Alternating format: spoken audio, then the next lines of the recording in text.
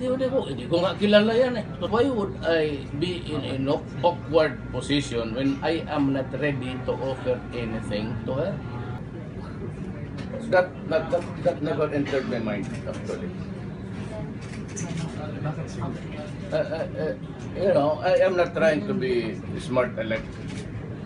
But I'm still trying to figure out the selection in my own group and party. I'm more worried about where I would place the friends that nakautang ako ng loob. The, pa, the party uh, guys who were loyal to me all along and maybe who are, who are also in a way, or who were, uh, for one reason or another, a factor in my winning the presidency.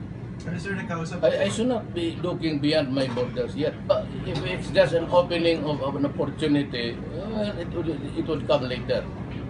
But It does not mean to say that the, the door is open and there's already the job waiting. Okay. It's an opportunity or perchance, maybe we can talk of just uh, having a good rapport in the meantime. Kasi How do hindi you nga see kami kilala eh.